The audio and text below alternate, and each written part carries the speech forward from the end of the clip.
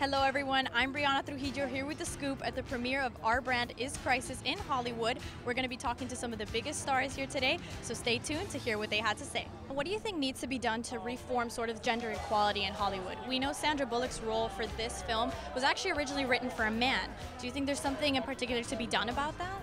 I do. I think that um, as an actress, sometimes I'm able to read and just be like, wow, but that male character actually fits me better. And even though he's a 30 year old guy, I feel like I, as a 20 year old woman, in my 20s could probably do that just as well. And I really think that as long as we have directors and creators and writers who are open to that and open to an individual, not necessarily binded by gender uh, specifics. Well, yeah, it is about time. I mean, women have over the years, I've, I think, gotten the short end of the stick in a lot of ways because it seems that Hollywood a lot of times feels that women have to only play roles that are so specifically for women.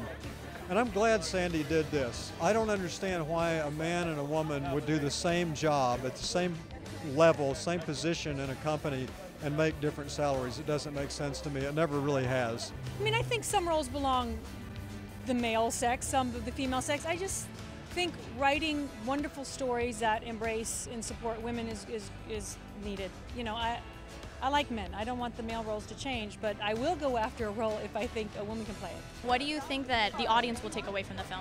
It's a story that, that it's very important for the whole world because it takes you in the world of politics. It shows you behind the scenes, but at the same time, it shows you the responsibility, the cause and effect of our vote. So for these upcoming elections, I think it's important to remember that and, and do our research and embrace, you know, different cultures, different races, different sexualities. Nothing negative, nothing that separates us, nothing that's going to take us backwards. Hopefully, Mr. Trump gets steps out of this awful negative space and, and, and starts loving it instead of hating so much. Even though they make movies about those subjects, you know, it, uh, we're not actually going to run a country. Kanye West is running for president? He wants to. Is he running for president? so go for it. Why not? It'll be a musical White House. I like it. Yeah, I don't think it really matters what your profession is, I, I, as long as you have uh, a decent agenda. How do you think USC prepared you to play this? Uh, well, I'm, I'm, a Trojan. Um, I went to USC. I did my master's in acting. Can I get a fight on for USC?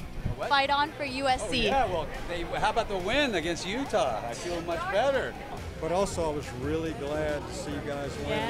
past week. Did you see that? I saw it. That I loved was... it. Fight on USC. Fight on USC, and I hope you guys enjoy our brand is crisis.